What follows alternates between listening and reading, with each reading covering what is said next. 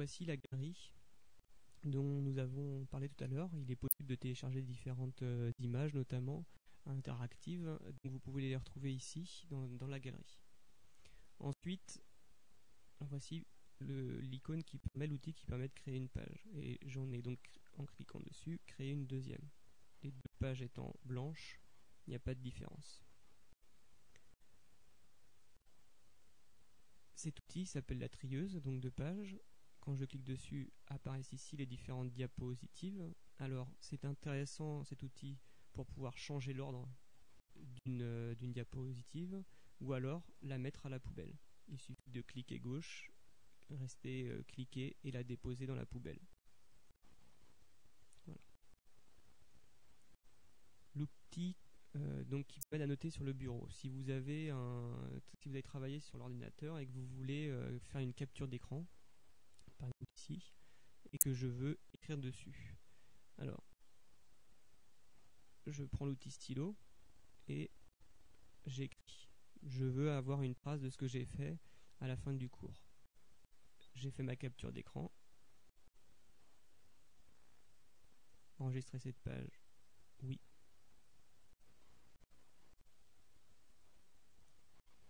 La première page, c'est la diapositive blanche. La deuxième, c'est celle que j'ai annotée euh, tout à l'heure. L'outil capturé permet de faire euh, quasiment la même chose. Je réduis par exemple euh, Workspace. Et je veux capturer seulement la partie gauche de mon écran d'ordinateur. Je fais une capture partielle de l'écran. Celle-ci je glisse, je dépose, et voilà, sur un troisième diapositive, la capture partielle va apparaître. Je peux revenir en arrière, en avant, avec les deux outils suivants. Je peux écrire un titre par exemple. Alors, L'outil euh, ABC, donc euh, l'outil d'annotation euh, texte est très important, permet donc d'écrire des textes, d'écrire des titres. Alors on, peut en changer la couleur ici. OK.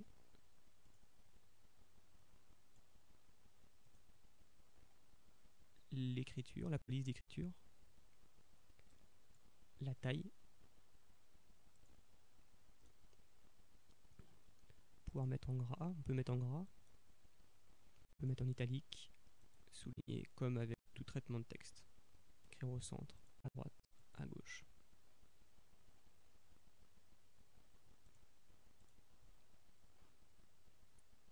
Cet outil, je n'en ai pas parlé tout à l'heure, mais il est très utile, un outil sélection. Il permet de déplacer les différents euh, éléments que nous avons mis sur, euh, sur le diapositive.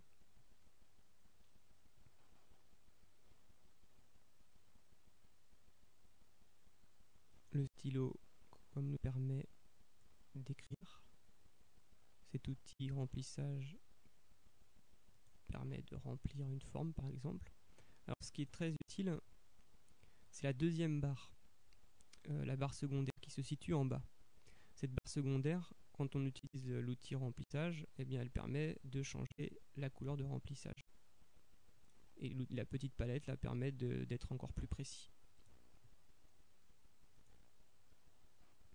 Pour l'outil stylo, quand on, quand on clique sur l'outil stylo, quand on regarde la barre secondaire, nous avons la même chose. On peut changer de couleur, écrire en, noir, en vert, en jaune.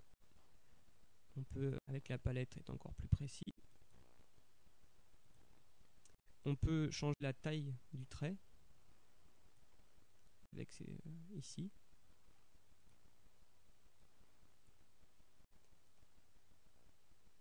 on peut jouer sur la transparence des lignes. Par exemple ici en rouge. On peut euh, faire des lignes, mais on peut aussi créer des flèches avec cet outil. Voir des doubles flèches, ce qui est très pratique notamment en géographie. Et puis on peut changer aussi euh, le style du tiret. Donc la double flèche là ici sera sous forme de tiret. ça c'est pour l'outil stylo. Donc vous avez la barre ici principale et la barre secondaire qui permet donc, euh, donc la barre principale permet d'avoir accès aux outils, la barre secondaire permet donc de les modifier. Idem pour l'outil surligneur. Dans un texte, on peut vouloir surligner, changer la couleur. Donc on peut jouer sur la couleur. On peut jouer sur la taille du trait. On va prendre du orange pour que ce soit plus lisible et on peut jouer sur la transparence. Avec l'outil sélection, je peux changer de place n'importe quel élément qui a été tracé sur la diapositive.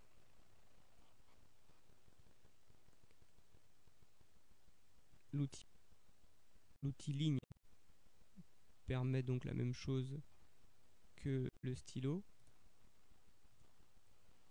sauf que cette fois-ci, les traits seront droits. On retrouve les couleurs, la palette, la taille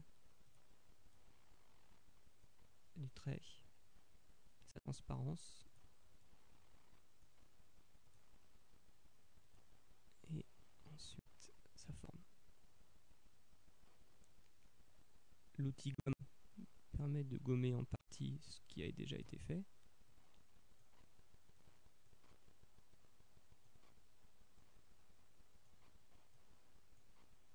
Permet de créer des formes. Alors ça, peut être un outil euh, très intéressant en mathématiques, mais aussi par exemple pour faire des schémas. Donc dans la barre secondaire, on retrouve les couleurs. On retrouve deux types de couleurs. La couleur du périmètre à gauche et la couleur du, de l'intérieur. Voilà, là j'ai un tour rouge avec un intérieur vert. Je peux jouer également sur la taille, sur la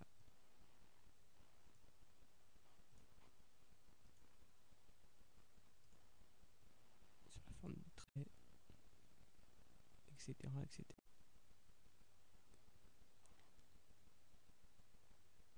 Donc ça, ça peut être un outil qui est très utile pour, euh, pour réaliser des schémas. Puisqu'ensuite, il est possible de modifier euh, l'emplacement de chacun de ces schémas. Pour supprimer une forme, été sur sélection et j'appuie sur supprime.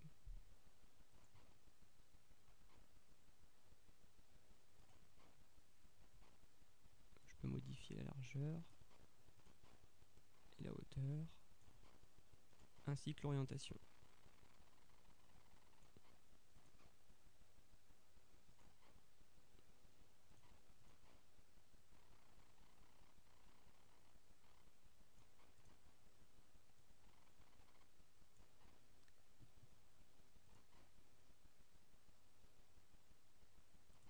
L'outil rideau.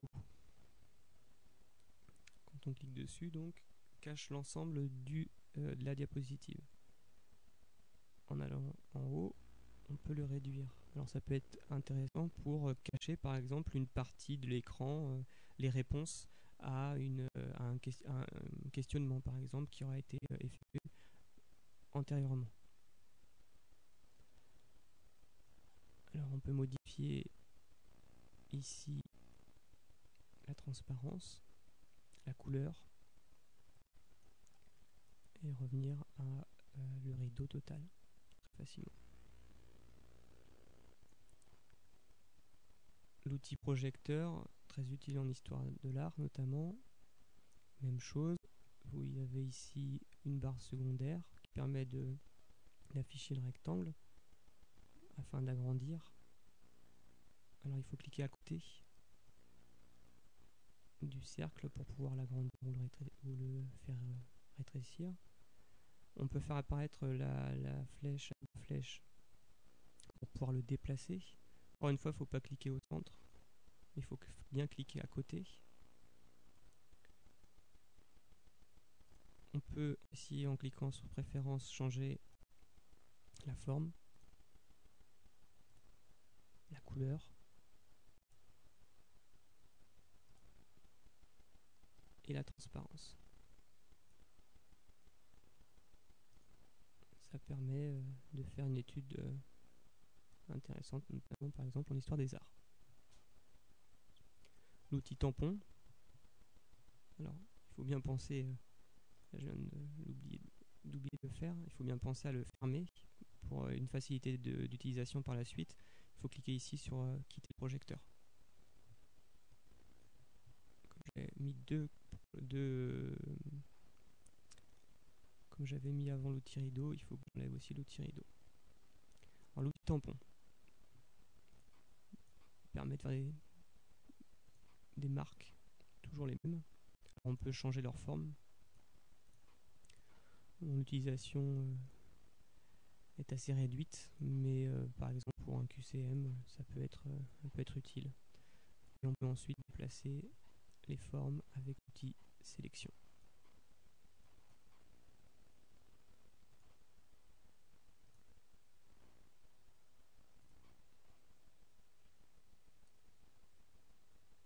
Ensuite, moi j'ai placé la boîte outils. Ça permet d'avoir accès aux outils dont on n'a pas besoin souvent, de façon directe. Alors par exemple, l'outil euh, règle métrique, qui peut être utile en, mathématiques. Alors on peut changer euh, l'orientation. La fermer. L'outil rapporteur idem 180 ou 380 degrés. Alors on peut modifier son orientation le déplacer. Ça permet d'avoir accès au tableau à un outil euh, mathématique quand on veut le, faire disparaître on clique dessus et on clique sur la petite étoile rouge donc ça cet outil important ça permet d'avoir accès à la boîte à outils en entier euh, il faut mieux éviter d'enregistrer des vidéos euh, sur euh, le, avec le logiciel parce c'est pas très au point. La reconnaissance de texte non plus n'est pas n'est pas et les formes automatiques ne sont pas accessibles en fait avec avec la version qui nous est proposée. Pour terminer, pour terminer, vous avez ici euh, l'outil qui vous permet de fermer le logiciel, de quitter, et il vous demandera automatiquement si vous voulez enregistrer votre travail.